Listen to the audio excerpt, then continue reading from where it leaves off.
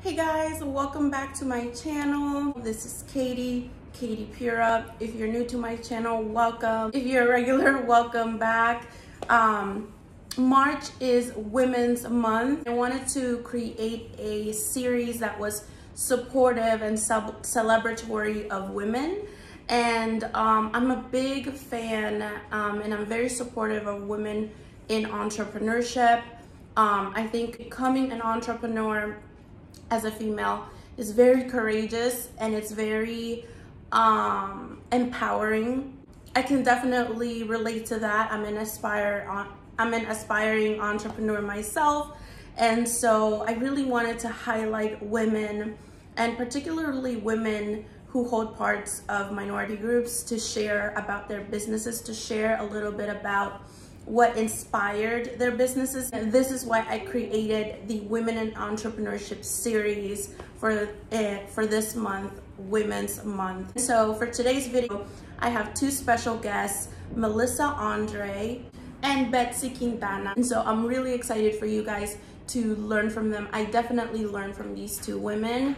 And so we have a discussion about what it means to be women in entrepreneurship. So um, I've divided this series in two parts. And so here's the first part for you. So keep on watching. Hi, everyone. I want to welcome uh, you guys to my channel. Uh, this is Katie, and um, this is also March, and it is Women's Month. And uh, today I have two special guests that are uh, female entrepreneurs. And so our topic for today will be uh, women in entrepreneurship. And I thought it would be great to learn about these two amazing women who have their own businesses. Um, so if you could um, please introduce yourselves and please share a little bit about your business.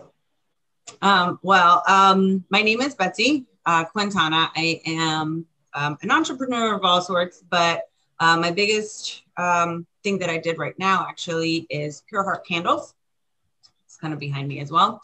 Um, I started looking into a lot of businesses. I've kind of been doing different businesses here and there, um, promoting different businesses, uh, sharing different businesses uh, from different women as well. You know, I like promoting small businesses, especially of women. Um, but I started Pure Heart Candles uh, actually in an accident. it is kind of like an accident what that happened. Um, I wanted to do something different. I wanted to kind of, you know, like what else can I do? And it was like this thought came in my head as like candles. And I started researching and that and behold, there's a lot of things that a lot of people don't know about candles. Um, that I was like, oh no, no, no, like this, this, this can't do, you know, this can't go.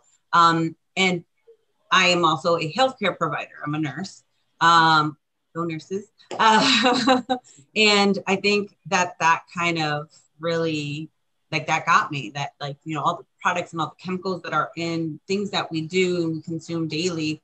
We all know that, but like something as simple as a candle, I would never thought. So I started our business um, in hope to bring more awareness to this and also um, empower women, empower other people to kind of think clean, to kind of grow, um, you know, and, and just kind of be more healthy.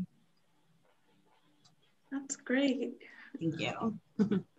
um, so before I start, I, I'd like to thank both of you guys because both of you are definitely essential workers. So thank you so much for taking care of us during this unprecedented time with social work, with nurses. I don't know how you guys do it. So I want to say thank you before I jump in and, and kind of talk about myself. Um, so my name is Mel Andre. I am a serial entrepreneur. I am a TV host. I am an international best-selling author. And in all honesty, I just enjoy empowering people and especially women. most of my clients for my life coaching practice are actually women. I really enjoy and want to support women anywhere I can. So I actually have several companies and a couple more on the way that I won't talk about just yet. But uh, my two main businesses are Skill and Well Fitness, which is a fitness company based in DC, and then I am a motivational speaker and life coach over here on the West Coast um, in, in California, in sunny California. So essentially, I, I, put all these businesses together because I love to encourage people to be their best possible self. And no matter what industry that I'm entering into, I want to ensure that people are being encouraged, that people are being motivated, and especially women. Um, I was having a conversation with someone the other day about how we need to give women more confidence, give them more of a boost. I think the time that we're in now, we're doing it more than ever. But I still think we're in a position where we still need to continue to give that boost to women, where we can close that income gap, where we can get more women to STEM. So I, I, I really, I'm really thankful and happy that you're doing this as well, and also get more business entrepreneurs out there, and especially into the limelight as well, because we see a lot of these big entrepreneurs that we talk about. We talk about the Steve Jobs. We talk about the, um, we talk about uh, what's the the guy who started Twitter because he was just in the news because he just um, purchased Jay Z's uh, company. He just purchased Tidal. Um, Jack. Um, well, that's a brain part. But we talk about all these these great um, these great male entrepreneurs, and I want women entrepreneurs to step to the forefront because I want it to be more than just Oprah when we talk about successful women. Right. Because so many successful women out there, and we need to hear about them. So, Katie, thank you so much for putting this platform together so people can hear about amazing women entrepreneurs. Yes, of course. I think um, I definitely was very intentional about having, um, you know, women that kind of hold part of minority groups in this country in order to give visibility to businesses that are out there and women who are, like you said, not just Oprah, not mm-hmm. just the household names that we know about, and that we could all, you know, uh, aspire, you know, to move forward with our dreams. And so, my next question to you is what inspired you to uh, decide that you wanted to start your business and, and, and what inspired the, the business itself? Well, for me, I think um, because I am a minority, because um, although I really don't look it, I am. And um, I think that that sometimes can discourage women um, feeling like they can't do more, feeling like, oh, you know, I, I don't, I don't know, or I, I love doing this, but I'm not quite sure I'm there yet. I'm not quite sure people will like my product. I don't quite know how to start. I don't know, um, you know, where, what to do or i have kids i have a family i have a home. There's so many things that we as women kind of put as excuses i feel like um not that they are because yeah you know all of us do have that. But i also think that women in general have the potential to do much more than what they they think much more than what they know. Um and we're starting to see that change. And i think that um when i first went into this um, before this actually i did I did cakes. I still do on the side. I was a baker. I love baking. Um, a lot of a lot of little things, but I love baking, and it became one of those things that like it was. Uh, people thought I was crazy, but it was like my stress reliever. You know, like I was a nurse. I was in healthcare. There's so much things that we're doing, and then, you know, when I would bake these extravagant cakes, whether it be small or these big tiered cakes, it was like a stress reliever. And I was like, oh, I like this. Like, you know, like I got out of my shell, I got into my creativity. And then I made that also a business. And it's funny because um, even in that, I did have my trials. Um, a lot of people don't like to pay for fancy cakes because they're home based, you know, and it makes no sense because you're like, do you know how much time and effort goes to anything that you put in? Um, and and you have to know your worth and you have to kind of put yourself out there. Um, but that kind of was was kind of like my setback for this, you know, um, where I was like, okay, things are slow. COVID happened. No one's buying cakes now. What else do I do?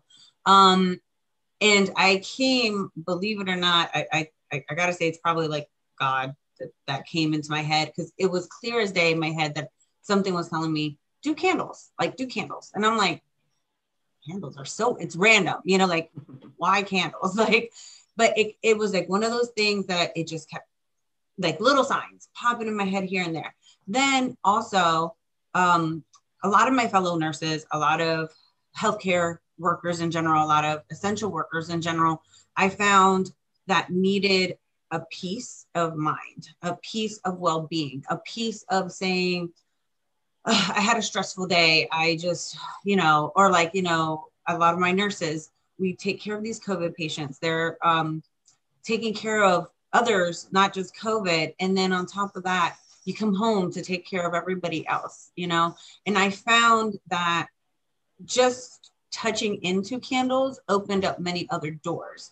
Um, it opened a, a, like a whole line of self care. And I feel that that motivation is what kind of pushed me. I was like, oh, I know now what my purpose of just starting candles was. It's not just like, oh, it's a candle, you're going to light it. It's self care. It's you're going to light it, you're going to feel relaxed. You're going to feel, you're going to smell it, and it's just going to make you feel enjoyable. You know, turn it on in a bathroom um, and just relax. Have a bubble bath with like a nice scent. Like, who doesn't want that? You know, um, you go to a spa, that's what they do, right? They kind of encourage you with like these lovely scents that kind of when you enter. And I feel like it opened up so much other things. Um, so, you know, going into that, my other motivation is self care. Like, you, I, I want women to not feel ashamed to self care and not just women, anybody in general. Us as humans, we don't self care. We're always working, working, working, working 24 7. There's nothing that stops us. There's nothing that kind of, you know, we don't put a pause. So I feel like self care is very important. And I think that is kind of like the motivation behind, like, just in general, anything that I do. Yeah, definitely candles help with self care. I know that I love candles and I got some of yours, um, Bethzy. And I think it it's just a way of even you know, with COVID, we don't have that much separation, but for some reason, COVID, I mean, uh, candles bring a separation to the home as to, okay, I am off work now. I can turn on my candles and relax. So yeah. um, I'm grateful that you decided to create um, self-care item. but what inspired your your business, Mel? Uh, so so in in terms of business, I think my story is slightly different. Um, I was working at a place. I won't say where I was working. Katie, you can't say where I was working either. and so where I was working, I was really fed up. And then we, we, we got a new boss, not the boss directly over me because I was a manager, but we had a, a new bigger boss.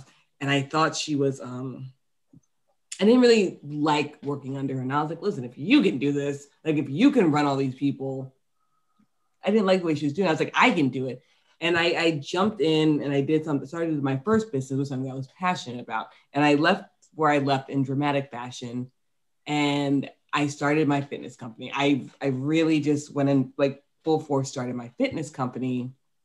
Um, I wouldn't recommend doing this, but I actually cashed in my 401k to to start that.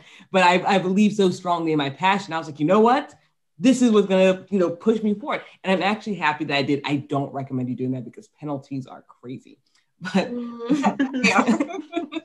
but I, I cashed it in because I needed that cash flow and I started Skill and Wolf Fitness. And I actually have to say thank you to Katie because Katie was one of the connections that really helped me form bigger contracts. So Katie was like, Hey, do you want to train me? And I was like, Sure. So I started the fitness company and we actually trained at the university that she was going to. And because of that, I landed a huge contract with the University of Maryland system.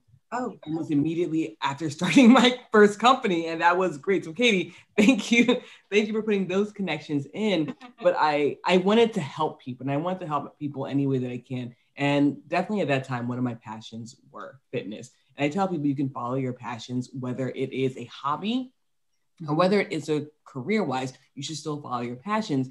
And I did, and I became someone who loves starting businesses. And I actually started another business which I closed down, but it was a consulting business. And I was helping other people actually build their businesses with this consulting business because I was just I was just passionate about helping people. And the reason why I closed it down is because in a couple years, I want to open it back up as a nonprofit and focus on helping minority communities or people who may not have the same the same funding or this they, they can't pay a consultant to help them right. start their businesses. So i want to refocus that into a nonprofit in the next five to ten years and that's why i closed that.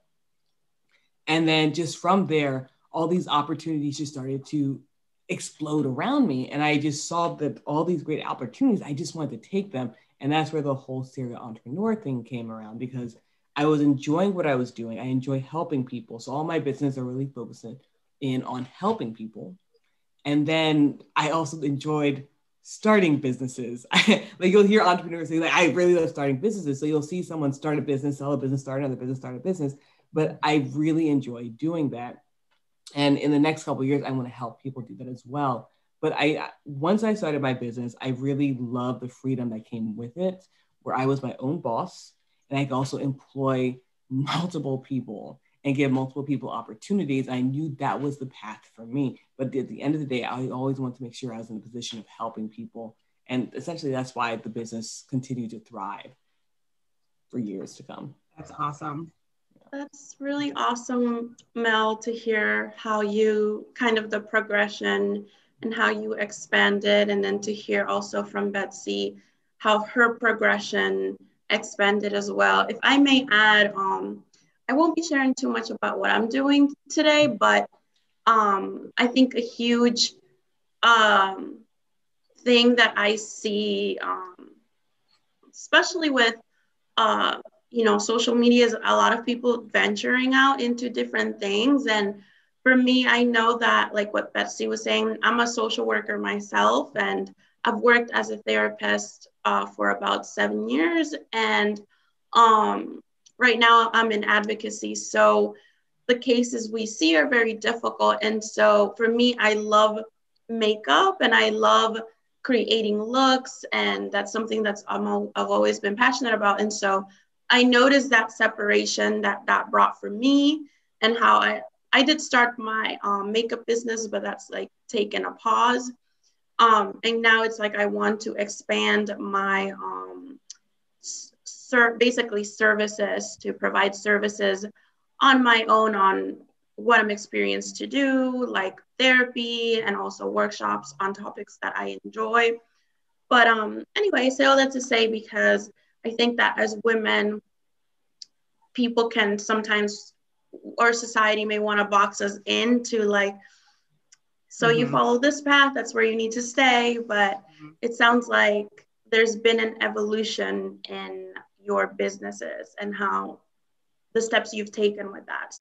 um, I really agree. Like, I think that you should not lose, not necessarily not focus, but like for you, for example, and someone told me this um, when I was first starting, just in general, like when I'm like my cake business, and they're like, you should open a bakery. And I'm like, I can't open a bakery and like do that, you know, like there's so many ifs and buts. And this person told me you know you can actually don't think that you have two paths that have to be separated. You can have two paths that can be one and you can do both things if you want to and be one. And you know because you like cosmetics for example um, like we're looking into uh, doing more natural cosmetics mostly because um, as a healthcare provider I also know that, for example, you were saying like social works and stuff like that, you see different patients, you see different skin tones, you see different things. And one of the things I wanted to do was like, this was even before this was even a thing, was uh, cancer patients can't have a lot of chemicals, you know, like they can't have a lot of products. But there's a lot of patients that still want to look beautiful, that still want to feel beautiful, that still want to put something on their face every day. And so that's what kind of we're you know it's evolving into something like that. And that's something that you can kind of do as well. Like yeah you know you see someone with like self-confidence issue being a so- social worker fine you know don't think that that those two paths can't me- like mesh you know in some way shape or form. So yeah i've definitely thought about the meshing of like makeup art and social work. And i knew of a social worker who would do like beauty days for her clients. And so I I've definitely thought about the, you know, meshing those two or like for example in my channel I do talk about mental health videos and I mm-hmm. also do makeup tutorials. So I know that a lot of people struggling with mental health need uh, use art as a way mm-hmm. to cope. And so I think that art is very much like an amazing coping skill in mental health. So I've definitely thought about bridging the two. Also, I'm very, very big on faith. And so I've thought about bridging mental health and faith. There's just so many ways of bridging different passions. So And I see Mel you with the fitness as well and, and then helping the community. Mm-hmm. So I think that there's just amazing, the sky's the limit. That was such an amazing conversation, you guys. I learned so much from both Bethzy and Mel. Um, I'm already feeling inspired after speaking to them. I hope you uh, learned a lot too.